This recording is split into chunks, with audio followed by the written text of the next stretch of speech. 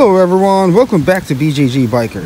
Today we're gonna do a bike check with my two of my favorite bikes, which are my Trek Marlin 5s. Let's check it out.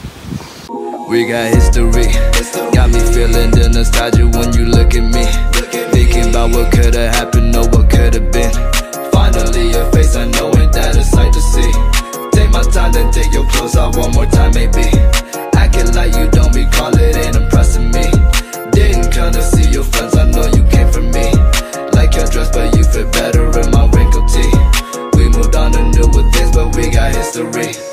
My feelings all aside, don't know what to make it right. Pictures popping on my mind. All these occasions, let's work it out with me. I don't think it hurts to give another try on it. We got history, got me feeling the nostalgia when you look at me. Thinking about what could've happened. All right, let's start. So for today, uh, we're gonna have a bike check and discuss to you what are some of the upgrades that I did for my Trek Marlin 5s. As you can see, I have two Trek Marlin 5s. One has a medium size frame and the other one has a small frame. The one on the right side has a 29 uh, inch wheels and the other one is a 27.5 with a small frame. Both frames are using an Alpha Silver aluminum frame. Why do I have two Trek Marlin 5s? The other one is for my girlfriend and the other one is for myself. As you can see, uh, there are some upgrades that I did for both bikes, but let's start with my black lithium gray. Uh, this bike already has a dropper seat post, but this is just a temporary dropper seat post. It is from Zoom. It works uh, pretty well and something that I would upgrade in the future but for the meantime I am using that uh, dropper seat post it also has a zoom lever same as my other Trek Marlin 5 for this one for the black lithium gray I have upgraded the drivetrain to a Shimano Deore 10 speed drivetrain as you can see. Uh, it's actually similar to the drivetrain of the Trek Marlin 6 and Trek Marlin 7 for 2022 but what's good about this one is that it has a 32T crank with a Hollowtech bottom bracket.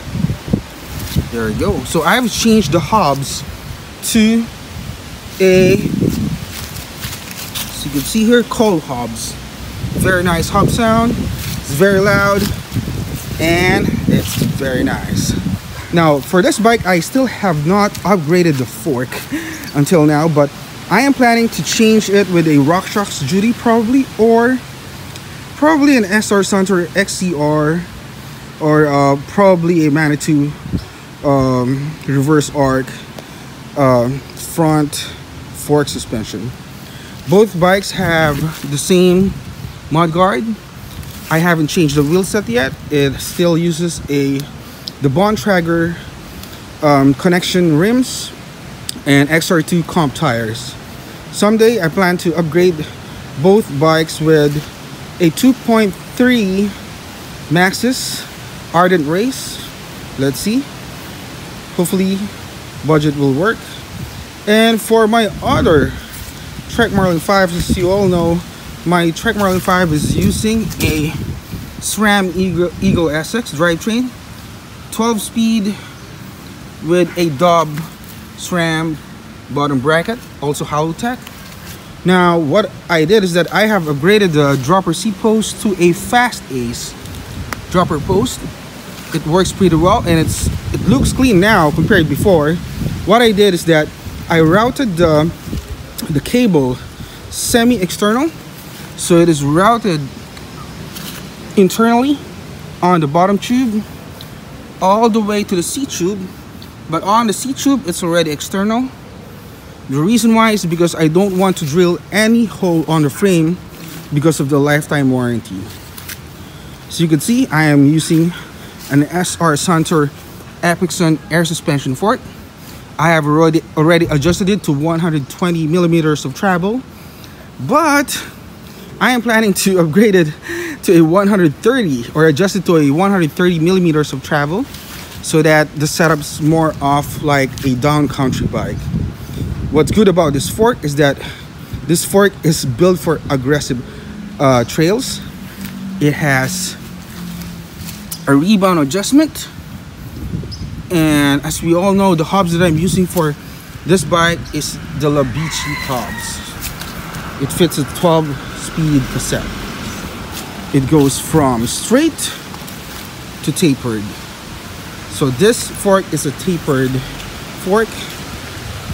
Even if my uh, um, frame is non-tapered works pretty well don't have any issues as long as you're using the right um, he headset or adapter. Now in the future hopefully I, I will create both bikes with a 2.3 Maxxis tire so that performs well on the trails. I apologize for the wind. It's very cold here for the meantime. Anyway guys thank you so much for watching.